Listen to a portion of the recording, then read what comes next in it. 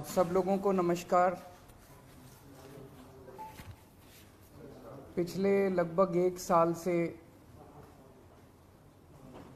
Bharatiya Janata party चिल्ला चिल्ला के, चिल्ला चिल्ला के कह रही है कि दिल्ली में कोई शराब घोटाला हो गया। और देश की जो जो भी सबसे बड़ी से बड़ी जाँच एजेंसियाँ हैं, वो अपना सारा काम धंधा छोड़ के इस शराब घोटाले की जाँच में लगी हुई हैं। तो मैं समझता हूँ कि उनको अब तक तो शराब घोटाले के सब कुछ मिल ही गया होगा, सारा पैसा भी मिल गया होगा, सब कुछ मिल गया होगा। तो पहले दो तीन मिनट में इसी पे चर्चा करना चाहूँगा कि शराब घोटाले में जाँच एजेंसियों कैसी जाँच कर रही है, क्या मिला अभी तक। इसमें मनीष सिसोदिया जी, जो कि फाइनेंस मिनिस्टर थे डिप्टी चीफ मिनिस्टर थे, उनके ऊपर सबसे बड़ा आरोप ईडी ने और सीबीआई ने लगाया है कि मनीष सिसोदिया जी ने अपने चौदह फ़ोन तोड़ दिए। तो इन्होंने सबूत खत्म करने की कोशिश की। ये सारी जाँच वांच करने के बाद इन एजेंसीज ने मनीष सिसोदिया पे आरोप लगाया कि चौदह फ़ोन तोड़ दिए। ये ईडी की चार्जशीट है। ईडी का डॉक्यूमेंट है ये, जिसमें इन्होंने ये चौदह फ़ोन का आईएमईआई नंबर लिखा हुआ है कि ये वो चौदह फ़ोन है जो मनीष सिसोदिया के थे और जो मनीष सिसोदिया ने इन फ़ोनों को डिस्ट्रक्ट कर दिया। ये ईडी के डॉक्यूमेंट में है। इसी के बाद ईडी की सीजर मेमो है। ईडी कुछ भी सीज करता है तो उसको मेमो इन चौदह में से ईडी खुद ही कह रही है सीजर मेमो की चार फ़ोन हमारे पास हैं। ये इनका सीजर मेमो है इम्पाउंडिंग ऑर्डर 18 मार्च 2023 का और इम्पाउंडिंग ऑर्डर 5 जनवरी 2023 का चार फ़ोन उसमें से इनके पास हैं। और एक सीबीआई का ये डॉक्यूमेंट है, एक फ़ोन सीबीआई के पास है। तो चौदह में से पाँच फ़ोन तो इनके अपने पास ही हैं, जो कह रहे हैं कि मनीष सिसोदिया ने तोड़ दिए। उन चौदह में से पाँच फ़ोन ईडी और सीबीआई के कब्जे में हैं। बाकी नौ फ़ोन तो जब इन्होंने ये आरोप लगाया, हम तो छोटे लोग हैं, हमारे पास इतने साधन नहीं थे, लेकिन फिर भी अपने सीमित साधनों से पिछले महीने, डेढ़ महीने में हमने भी थोड़ी जाँच करी तो पता चला बाकी मोस्टली फ़ोन एक आध को छोड़ के वो भी पता चल जाएगा का मोस्टली फ़ोन ज़िंदा हैं। कोई ना कोई इस्तेमाल कर रहा है। और उन फ़ोन को कोई वॉलंटियर के पास है कोई कहीं है कोई कहीं है कोई ना कोई इस्तेमाल कर रहा है वो मनीष जी के फ़ोन नहीं है। वो कोई ना कोई इस्तेमाल कर रहा है वो फ़ोन ज़िंदा है और ये फैक्ट कि ये फ़ोन ज़िंदा है ये ईडी को भी पता है और ये सीबीआई को भी पता है। सो so, ईडी ने और सीबीआई ने झूठा झूठ बोल के ओथ पे एफिडेविट पे कोर्ट को गुमराह किया और झूठा सबूत उन्होंने कोर्ट के सामने पेश किया। क्योंकि सच तो कुछ मिला नहीं, कुछ था ही नहीं, शराब घोटाला कुछ है ही नहीं। तो निकाले क्या? तो उन्होंने झूठ बोल के मनीष सिसोदिया को फंसाने की कोशिश की, कोर्ट को झूठ बोला। अब ये रोज किसी ना किसी को पकड़ लेते हैं। किसी ना इसको गिरफ़्तार कर लिया, उसको गिरफ़्तार कर लिया, ये कर लिया। एक कोई चंदन रे और उनको टॉर्चर कर करके धमकियाँ दे दे के मेंटली टॉर्चर करके फिजिकली टॉर्चर करके थर्ड डिग्री करके, उनसे केजरीवाल का नाम ले लो, मनीष सिसोदिया का नाम ले लो, इनको फंसाओ, उनको किया जा रहा है। कोई चंदन रेड्डी है, हम तो जानते भी नहीं है कौन है। चंदन रेड्डी को इतना मारा इतना मारा, ये उसकी मेडिकल रिपोर्ट है चंदन रेड्डी की। मेडिकल रिपोर्ट में लिखा है patient has alleged trauma to both ears and face by ED officers on 16 सितंबर 2022 एंड 17 सितंबर 2022 पेशेंट ने दोनों कानों पे और फेस पे ईडी ऑफिसर्स के द्वारा पिटाई हुई 16 सितंबर और 17 सितंबर को ऐसा कहा। पेशेंट कंप्लेनिंग ऑफ़ ये है कि सुनाई नहीं दे रहा और jaw pain on opening mouth और इन्वेस्टिगेशन पे पता चला right ear mild to moderate mixed hearing loss left ear severe to profound mixed hearing loss उसके कान के पर्दे फट गए, उसको सुनाई नहीं दे रहा। ऐसा चंदन रेड्डी से ईडी क्या उगलवाने की कोशिश कर रही थी? उसको क्या कहने का दबाव डाला जा रहा था कि उसकी इतनी पिटाई करी कि उसके कान के पर्दे फट गए? उसको किस कागज़ पे दस्खत करने के लिए कहा जा रहा था? और उसने झूठ बोलने से मना कर दिया तो उसकी पिटाई की उन्होंने। इसके बाद अरुण पिल्लई हैं कोई। उनको धमकियाँ दी गई, टॉर्चर किया गया, उन्होंने अपना बयान वापस ले लिया अगले दिन। उस दिन तो उनसे कुछ लिखवा लिया, कहीं साइन करा लिया, लेकिन उसके दो चार दिन बाद उन्होंने कोर्ट में बयान दिया कि मुझे टॉर्चर करके बयान लिया गया। समीर महेंद्रू से टॉर्चर करके बयान लिया गया, उन्होंने अपना बयान वापस ले लिया। मनस्विनी से टॉर्चर करके बयान लिया गया, उन्होंने अपना बयान वापस ले लिया।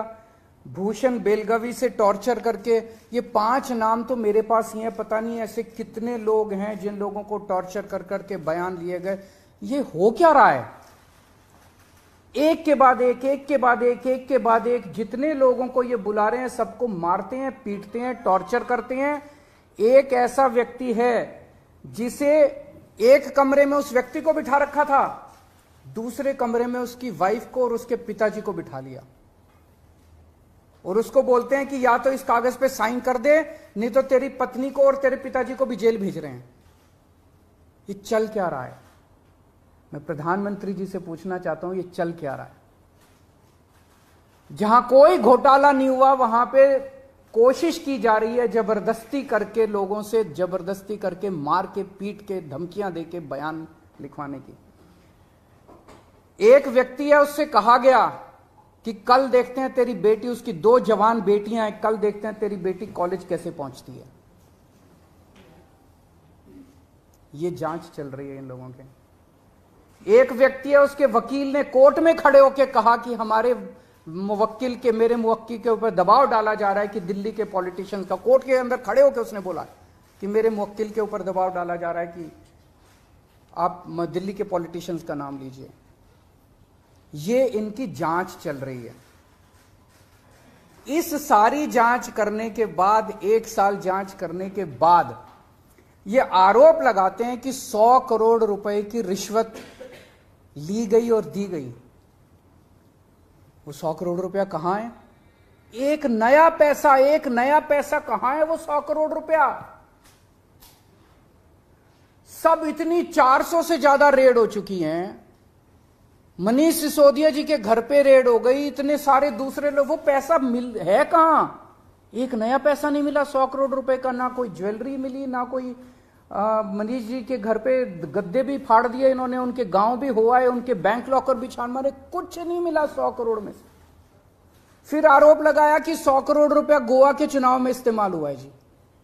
गोवा के हमारे जितने वेंडर्स थे, जिनसे हमने काम कराया था, सारे वेंडर्स पे रेड मार चुके हैं लोग। सारे वेंडर्स को इन गिरफ़्तार कर करके स्टेटमेंट ले चुके, वहाँ कुछ नहीं मिला, सारी पेमेंट चेक से हुई है हमारी। सारा हिसाब किताब इलेक्शन कमीशन को दिया हुआ, वहाँ भी कुछ नहीं मिला। गोवा चुनाव के अंदर इनको धेला नहीं मिला। तो पैसा गया कहाँ? अगर रिश्वत ली तो पैसा गया कहाँ? अरे पैसा तो तब मिलेगा ना जब रिश्वत ली गई होगी और रिश्वत दी गई होगी।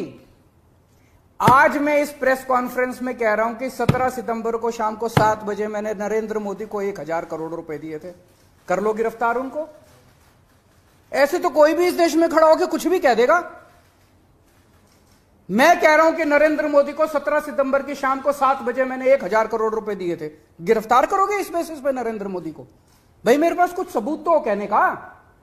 कोई तो मैं कहूँगा, भाई, मेरे पास ये सबूत है, मैंने दिए थे। ऐसे ही कोई कुछ भी खड़ा होकर कह देगा, और गिरफ़्तार कर लोगे। सौ करोड़ रुपए दिए, सौ करोड़ रुपए दिए, गोवा चुनाव अरे, कहाँ है सबूत? कोई सबूत नहीं है। ये पॉलिसी इतनी शानदार पॉलिसी थी ट्रांसपेरेंट पॉलिसी थी, जो भ्रष्टाचार खत्म कर देती पूरे के पूरे शराब सेक्टर में। ये इस बात से साबित होता है कि ये पॉलिसी जब पंजाब में लागू की गई, पूरी कॉपी पेस्ट पॉलिसी है, जब पंजाब में लागू की गई तो इस पॉलिसी से 50 परसेंट रेवेन्यू एक साल के अंदर बढ़ गया। 50 परसेंट रेवेन्यू दिल्ली के अंदर इन्होंने लागू नहीं की, करने दी, पंजाब के अंदर इनकी चली नहीं, क्योंकि पंजाब एक फुल स्टेट है। तो मैं मोदी जी को कहना चाहता हूँ, मोदी जी, अगर केजरीवाल भ्रष्टाचारी है तो फिर इस दुनिया के अंदर कोई ईमानदार नहीं है। मुद्दा भ्रष्टाचार है ही नहीं। मुद्दा भ्रष्टाचार की जाँच है ही नहीं। मुद्दा शराब घोटाला है ही नहीं। ऐसा शख्स देश का प्रधानमंत्री जो सर से लेके पैर तक भ्रष्टाचार के अंदर डूबा हुआ है उसके लिए भ्रष्टाचार मुद्दा कैसे हो सकता है? पिछले मन मार्च के आखिरी हफ़्ते के अंदर मैंने इतने सारे असेंबली के अंदर इतने सारे गिनाए थे भ्रष्टाचार जो इन्होंने किए हैं। इतने भ्रष्टाचार गिनाए थे। इन्होंने तो मेरे को तभी कह दिया था उस दिन जिस दिन असेंबली में मैंने स्पीच दी थी शाम को संजय सिंह का मैसेज आया कि, कि अरविंद जी अब अगला नंबर आपका है। कल सत्यपाल मलिक जी ने एक इंटरव्यू दिया मैं वो सुन रहा था। सत्यपाल मलिक जी ने कहा, मोदी जी को भ्रष्टाचार से कोई परहेज नहीं है. ये मैं तो नहीं कह रहा हूँ, ये तो उनके अपने गवर्नर कह रहे हैं। सत्यपाल मलिक जी कौन है? सत्यपाल मलिक जी मोदी जी के बहुत खास लोगों में गिने जाते थे। उन्हें पहले उन्होंने जम्मू कश्मीर का गवर्नर बनाया, फिर उन्हें गोवा का गवर्नर बनाया, फिर उन्हें मिजोर, मेघालय का गवर्नर बनाया। उन्होंने कहा कि मेरे जो इंटरेक्शन हुए मोदी जी के साथ, उसमें पता चला है कि मोदी जी को भ्रष्टाचार से किसी तरह का परहेज नहीं है। उसी इंटरव्यू में उन्होंने कहा कि इन लोगों के कुछ मुख्यमंत्री हैं जो भ्रष्टाचार करते हैं, खूब पैसे इकट्ठे करते हैं, लेकिन वो सारा पैसा मुख्यमंत्री अपने पास नहीं रखते। वो पैसा ऊपर भेजते हैं और वहाँ से वो पैसा उनकी दोस्त की कंपनियों के अंदर इन्वेस्ट होता है। मैंने भी तो इसी तरह का कुछ कहा था अपने उसमें। तो चलो, मेरी बात तो नहीं मानी। अब तो गवर्नर, इनके अपने गवर्नर कह रहे हैं। तो ऐसा व्यक्ति जो इतना भ्रष्टाचार कर रहा है, उसके लिए भ्रष्टाचार मुद्दा हो ही नहीं सकता। उनके लिए भ्रष्टाचार मुद्दा थोड़ी है। तो फिर ये आम आदमी पार्टी के पीछे क्यों पड़े हैं? पचहत्तर साल के भारत के इतिहास में किसी एक पार्टी को इतनी बुरी तरह से टारगेट नहीं किया गया, जिस तरह से आम आदमी पार्टी को ये लोग टारगेट कर रहे हैं। नंबर टू को गिरफ़्तार कर लिया, नंबर थ्री को गिरफ़्तार कर लिया, और उनको गिरफ़्तार करने का तो मकसद इनका यही था कि मेरे, मेरी गर्दन तक पहुँचना। तो अब ये मेरे पीछे पड़े हैं, मुझ तक पहुँचने की कोशिश कर रहे हैं। किसी पार्टी को इस तरह से नहीं टारगेट किया गया, जिस तरह से आम आदमी पार्टी को टारगेट किया गया।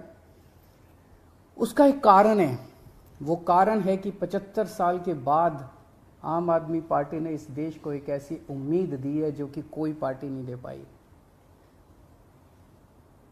गुजरात के अंदर 30 साल से बीजेपी की सरकार है। उसमें 12 साल प्रधानमंत्री मोदी जी खुद वहाँ पे मुख्यमंत्री रहे। 30 साल के अंदर ये एक सरकारी स्कूल ठीक नहीं कर पाए, एक भी एक भी सरकारी स्कूल ठीक नहीं कर पाए। जब मोदी जी को फ़ोटो खिंचवाने के लिए सरकारी स्कूल में जाना था तो एक टेम्पोरेरी क्लास एक टेंट के अंदर टेम्पोरेरी क्लास बनानी पड़ी इनको फ़ोटो खिंचवाने के लिए। फ़ोटो खिंचवाने लायक सरकारी स्कूल भी नहीं बना पाए। और पाँच साल के अंदर दिल्ली के हमने सारे सरकारी स्कूलों का कायाकल्प कर दिया। पाँच साल के अंदर हमने सारे सरकारी स्कूल ठीक कर दिए। इस देश के लोगों को आम आदमी पार्टी ने एक उम्मीद दी है कि केवल आम आदमी पार्टी उनकी गरीबी दूर कर सकती है। उनको शिक्षित कर सकती है, उनके बच्चों को रोज़गार दे सकती है। आम आदमी पार्टी ने इस देश के लोगों को उम्मीद दी है। प्रधानमंत्री जी उस उम्मीद को कुचलना चाहते हैं।